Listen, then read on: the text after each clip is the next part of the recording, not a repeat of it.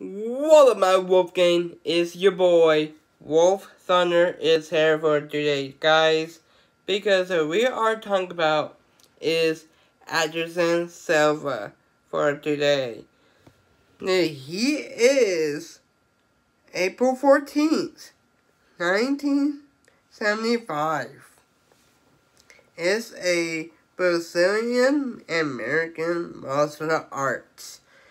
He is a former UFC middleweight champion and holds a record for the, the longest title reign in the UFC history.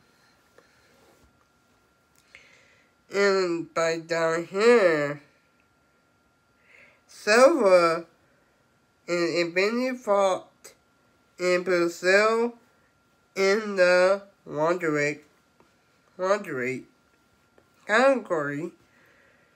Silva made his professional debut in 1997 with a pair of friends. Silva record has a birth lost in 20s. Luis Alcedo and the decision that after the fight. He went went on 19th 95 for say. Rainy streak. Rainy 6 soul spice by Earth submission or TKO. He did, by the way, guys. He is six two tall. He weighed 185 pounds. He is a Muay Thai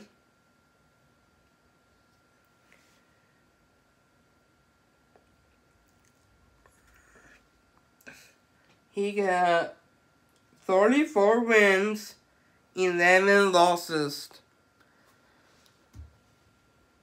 He did good, but he not quite did good. And thank you guys for watching on by Wolf Thunder. And see you guys later. Thunder! Zone! Arr!